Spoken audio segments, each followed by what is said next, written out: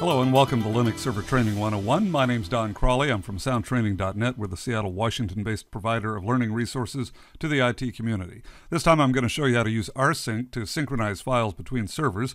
This video is based on Chapter 13 in my book, The Accidental Administrator Linux Server Step by Step Configuration Guide.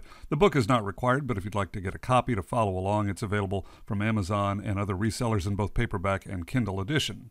Prerequisites for this exercise you'll need CentOS or Red Hat Enterprise Linux 6.5 installed on your computers. Now, uh, that's what I'm using for the demonstration. The procedures I'm going to show you will work with lots of different Red Hat based versions of uh, Linux, so uh, you may be able to use this just fine with a different version, but the one I'm using is CentOS version 6.5. And you'll also need internet access in order to download uh, rsync from the Yum repositories. Equipment software requirements to network computers. They can be either virtual machines or physical machines. I'm using VMs running inside VMware Workstation 10.0.2, uh, but you could certainly use VirtualBox or um, Hyper-V or any other virtualization environment, or if you want to hook up a couple of physical boxes, you can certainly do that as well. Here's a summary of the steps. I'll install rsync using yum on both computers. I'll create a test directory with some files in it, and then I'll test it by using the rsync command to synchronize files between the two computers. Here's your disclaimer. Basically, what this boils down to is don't do this without testing it first to make sure you've got current backups and take precautions, including data encryption and additional access controls to protect sensitive data, which you should be doing anyway, right? Now, I've set up two machines for the demonstration Linux Server 01, which is the machine I'm on right now, as you can see from the prompt.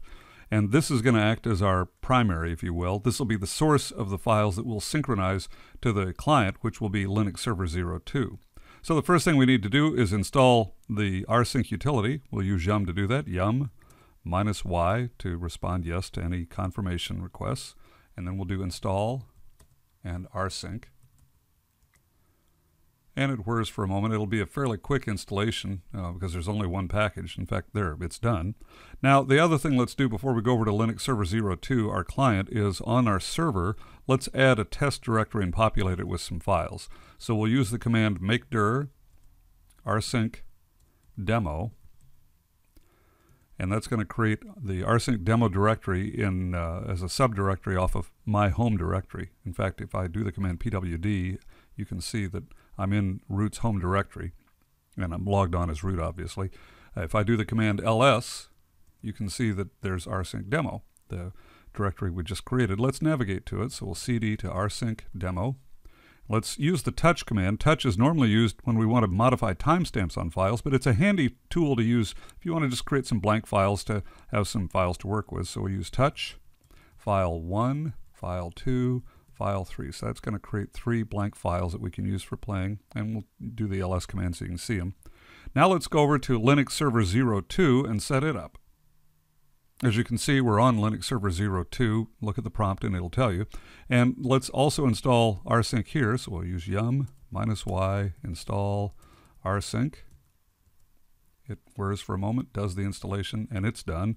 We need to create the target directory as well. So let's use the command make dir and rsync demo. It's done. You don't need to call it rsync demo. You could use an existing directory. You could create a, a, directory with your own name, whatever you want to do. But you do have to have a target directory for the synchronization to work. Now let's go back to the server, Linux Server 01, and uh, try an rsync command. The command I'm about to use will transfer these three files, actually the contents of the rsync demo directory, to the target that I specify. So we'll start with the command rsync now we're going to specify options, and I'll use two this time around. We'll do the V option for verbose, so you can just see the process as it takes place. And minus E allows us to specify the remote shell.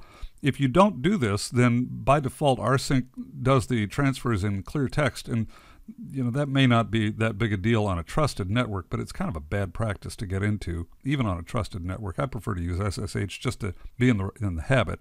So we'll specify SSH as the remote shell. And then we need to specify our source and then the target.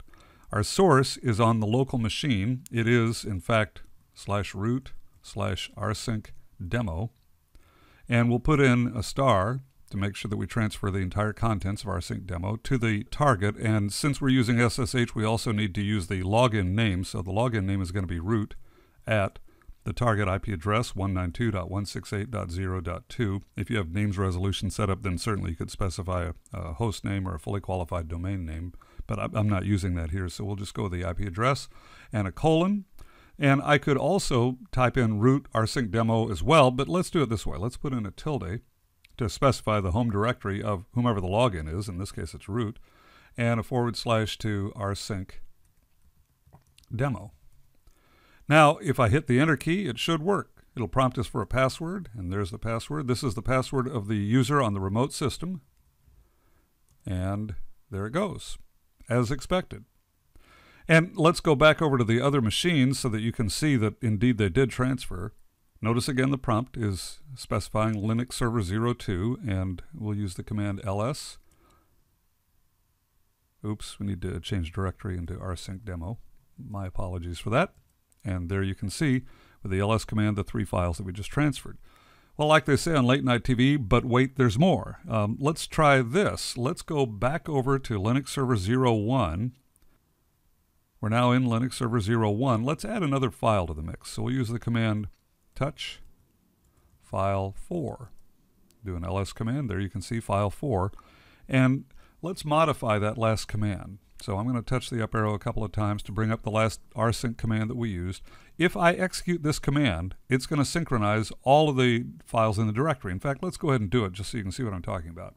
So we'll put in the password and it's going to synchronize all four files, the new one as well as the three that were already there. We don't need to to actually synchronize the first three because they haven't changed. And there's actually an algorithm that you can use in, in conjunction with rsync just by using the minus u option that will tell rsync to look at things like timestamps and file size to decide whether a file has been modified since the last rsync. And if it has, then it will do the transfer. And if it hasn't, then it'll leave it in place. So it's a great way of conserving bandwidth and, and time.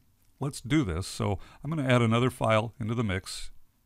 This time we'll do touch file 5. And we'll touch the up arrow a couple of times to repeat the rsync command. But this time I'm going to go in and I'm going to add the minus u option. Now it's important to note that I put it at the beginning of the options list. If you put it the, at the end, then it'll throw off an error and it won't work. But if you put it at the beginning like I did, this should work perfectly. So let's try it now. We'll hit the enter key. I'm going to put in the password. And look at that, it transferred a single file. So it's a great way of conserving bandwidth, and if you have a big file server with lots of files on it, obviously your first rsync is going to take a long time. But subsequent ones then can be a lot faster and obviously not use as much bandwidth. Same thing with, with web servers. In fact, that's what I do. I've got a pair of web servers in different cities. One is a backup to the other, and I use rsync to back up the contents of the primary to the secondary using a cron job so it's done automatically. And that's a pretty common use of rsync and cron. Now, there's one other thing I want to show you before we end the demo. Let me add one more file to the mix. So I'm going to do touch file 6 now let's go back over to Linux Server 02. And now that we're on Linux Server 02, let's execute the command rsync from here. In other words, you can execute rsync on either the source or the destination computer. You just have to specify the source and destination files and directories in order to make it work. So we'll do rsync minus u minus v minus e ssh and we've got to specify the source. Well, the source this time is the remote system instead of the local system. So we're going to do root at 192.168.0.1 colon. We can either use the explicit directory path or we can use the tilde. I'll go ahead and use the explicit path this time. So root and then rsync demo. And then the target, which in this case is slash root slash rsync demo. And let's go ahead and hit the enter key something missing? There is. There's something that is missing that would cause it to fail. Let's go back and correct this. We need to specify we're going to transfer all of the files. And now we'll hit the enter key. Or I should say all of the files that have been changed. And there it goes. File 6 is the one that uh, got transferred over. And let's take a look. We'll do an ls command, an rsync demo on Linux Server 02, and we should see all six files, and in fact, there they are. So that should give you a pretty good idea of some things that you can do with rsync, especially some of the more common things. There are a lot of options. There's a lot that you can do with it. Um, if you want more information, obviously, please check out my book, but also you can just Google on rsync on uh, online and you'll find lots of things rsync demonstrations or typical rsync usage um, things like that and, and, you'll find a lot of examples of how to use rsync it's a very powerful tool and i'm sure you'll find lots of ways to use it if you'd like more information, I blog at www.accidentaladministrator.com, or you can visit my website at soundtraining.net. Subscribe to my newsletter at soundtraining.net slash newsletter. I'm on Facebook, Twitter, and Google. If you'd like more videos, we've got them, a lot of them, at our video channel at www.soundtraining.net slash videos. And if you'd like to get the companion book, I'd love for you to have a copy of it. It's available in paperback and Kindle edition from Amazon and other online resellers, or you can visit soundtraining.net slash bookstore. Well, I hope it's been helpful. For soundtraining.net, I'm Don Crawley. I'll see you next time.